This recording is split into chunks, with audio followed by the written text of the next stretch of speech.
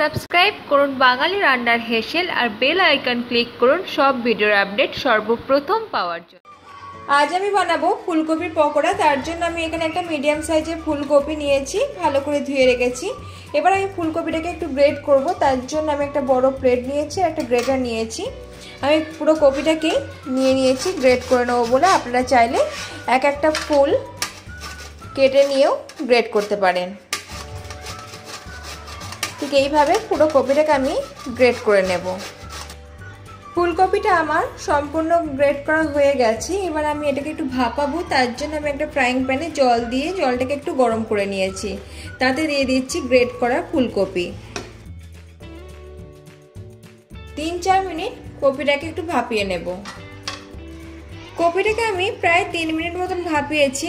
দেখুন, কপিটা ঠিক এইরকম অবস্থা পর্যন্ত কিন্তু আমাকে ভাপাতে হবে। এর চেয়ে কিন্তু বেশি কপিটাকে ভাপাবো না। তাহলে কিন্তু যখন পকোড়াটা বানাবো, তখন কিন্তু ভালো লাগবে না। এবার আমি কপি থেকে জলটা একটা ছাঁকনির সাহায্যে ভালোভাবে ছেঁকে নেব। কপি থেকে আমি জলটা খুব ভালোভাবে ছেঁকে নিয়েছি। কপির মধ্যে কিন্তু কোনো রকম জল থাকলে হবে না। একটু চেপে চেপে জলটাকে পার করে দিতে হবে।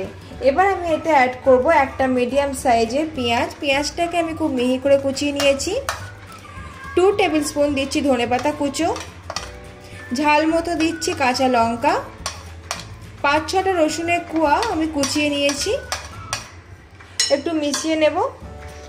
আর দিয়ে দিচ্ছি এতে কিছু গুঁড়ো মশলা। হাফ টিস্পুন কাশ্মীরি লঙ্কার গুঁড়ো হাফ টিস্পুন ধনে গুঁড়ো। হাফ টিস্পুন, চাট মশলা চাট মশলা ঘরে না থাকলে তাহলে আমচুর পাউডারও দিতে পারবেন। চিনি হাফ টিস্পুন, চিনিটা অপশনাল, স্বাদ মতো নুন, আর হাফ টিস্পুন আছে হলুদ গুঁড়ো। সমস্ত গুঁড়ো মশলা আমি এখানে দিয়ে দিলাম। দিয়ে একটু ভালো করে আমি মেখে নেব প্রথমে। কপির সাথে আমার সমস্ত কিছু খুব ভালো করে মেশানো হয়ে গেছে। এবার আমি এতে অ্যাড করছি একটা ডিম।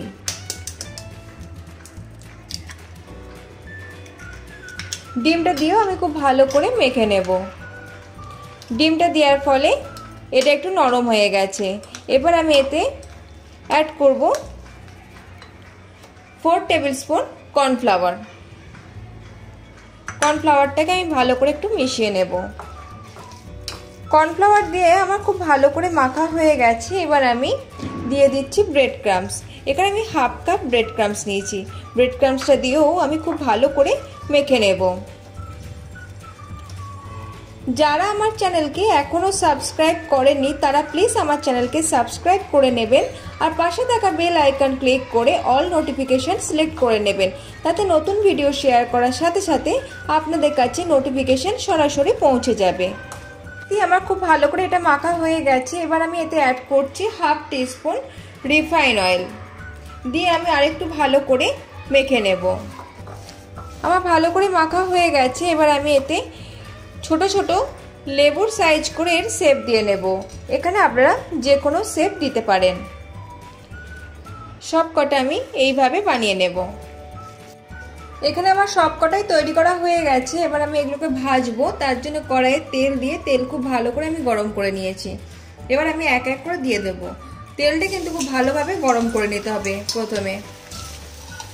ঘুরিয়ে ফিরিয়ে আমি গোল্ডেন কালার করে ভেজে নেব। আমার এগুলো ভাজা হয়ে গেছে, এবার আমি এগুলোকে তুলে নেব। ভালোভাবে তেল ঝরিয়ে আমি তুলে নিচ্ছি। সেমভাবে আমি বাকিগুলো ভেজে নেব।